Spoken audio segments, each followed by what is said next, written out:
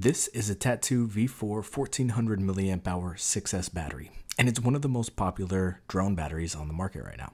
This is a China Hobby Line Speedy Pizza 1200 milliamp hour 6S battery, and it's known as one of the best budget batteries. There are better batteries from Tattu and China Hobby Line. There's the version 5 Tattus that are out right now and the Black Label China Hobby Line batteries. And you might be asking, well, why didn't you review these? And, well, boys, it's because I'm broke. And these are the batteries that I had.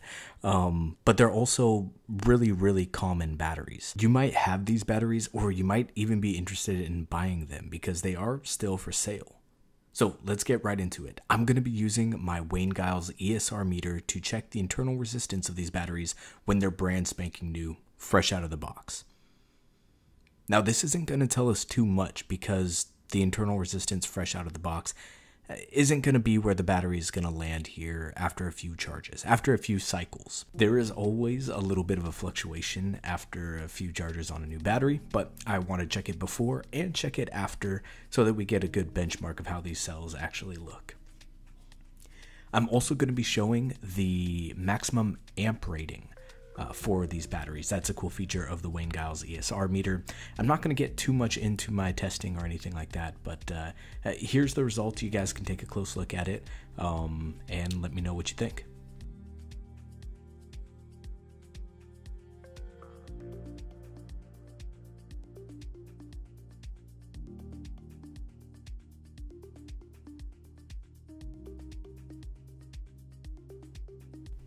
So I'm also going to be doing some testing using an iCharger X6, um, which may be more recognizable IR readings to a lot of people that are using their charger for their internal resistance readings. Keep in mind that iCharger is going to be a little more accurate than maybe say ISDT or some of the other chargers.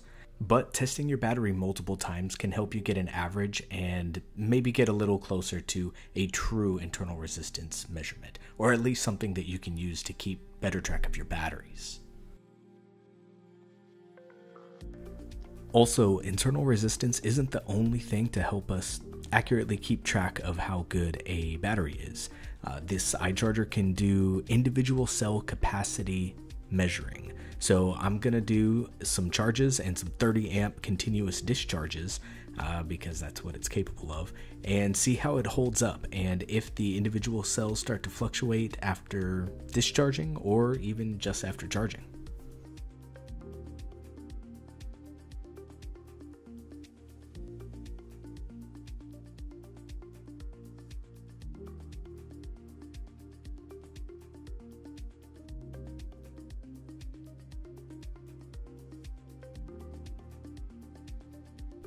Now, what you were just watching was a charge graph, and the battery looked fine. Uh, the charge isn't all that interesting. But now you see how the graph looks, and we can go on to discharging, and you can see how the batteries really perform.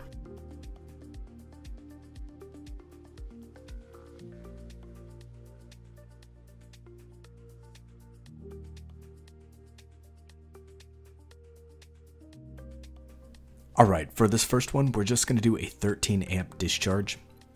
It's about a 10C discharge. Since the packs are 1400 and 1200, I decided to split it right down the middle uh, instead of a 12 amp and a 14 amp. Uh, again, we're trying to discharge these at the same rate. That way, it's an apples to apples comparison. These are going to be flown on the same type of aircraft, so they should be treated the same with a discharge.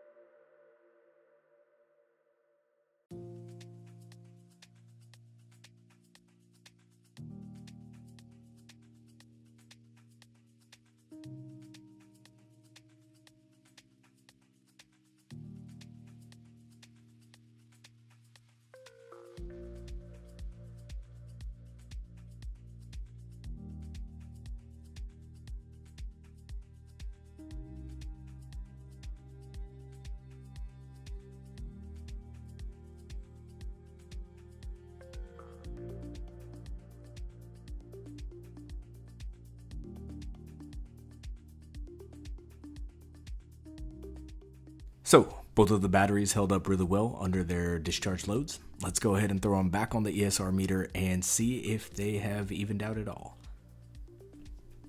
And it looks like they have. Their voltages are all really close together, and their IRs have also evened out. Now, before I get too much farther, I know a lot of people are going to ask, why are you comparing these two batteries against each other?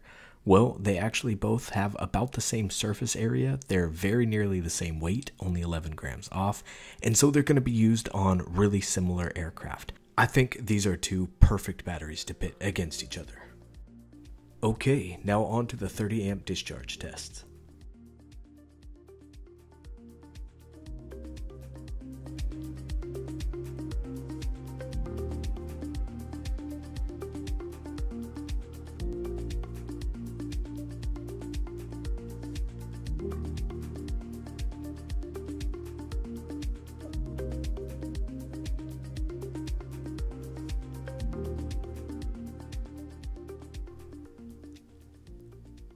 The R line is definitely getting a little bit hotter than I would have liked to see. It performed well, it gave a lot of capacity, and I checked its IR, didn't show it, but uh, it was all uniform, it all looked really good, just like I'd expect a $41 battery to do.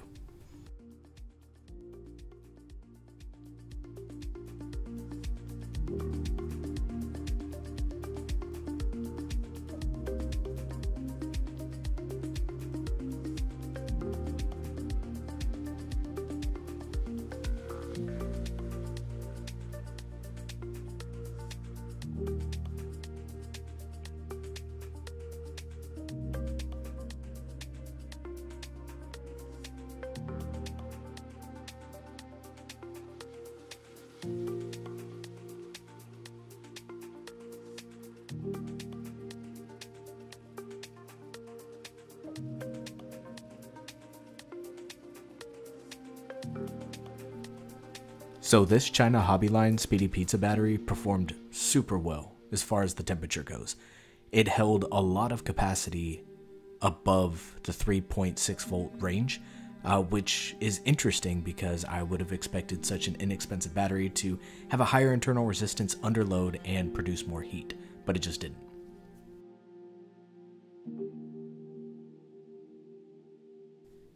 Now, I don't know about y'all, but I'm tired of being technical. Let's get out and rip.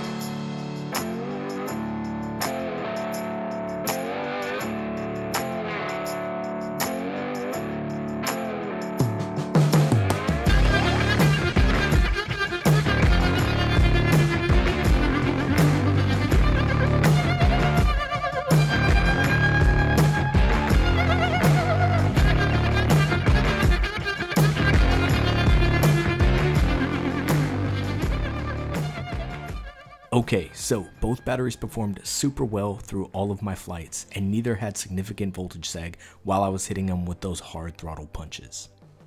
I will say that the R line is not twice as much battery as the Speedy Pizza. I would definitely spend my money on Speedy Pizza batteries if I was just doing some freestyle. Since I do cinematography and I do need that little bit of extra capacity, I will be using the R-Line version 4.0s on my cinematography rigs. Anybody who's flying a Cinewhoop for money knows what I'm talking about. You really need those extra seconds. Uh, but it's just not worth twice as much as the Speedy Pizza battery. Hey, if you're still here, you're awesome. Please keep being awesome and hit the like button for me. Subscribing means a huge deal and let me know in the comment section if you want me to make a full detailed video on internal resistance and even make a graph so that you can reference your own batteries at home and know if they're good or bad. Well, right on guys, thanks for watching and keep ripping.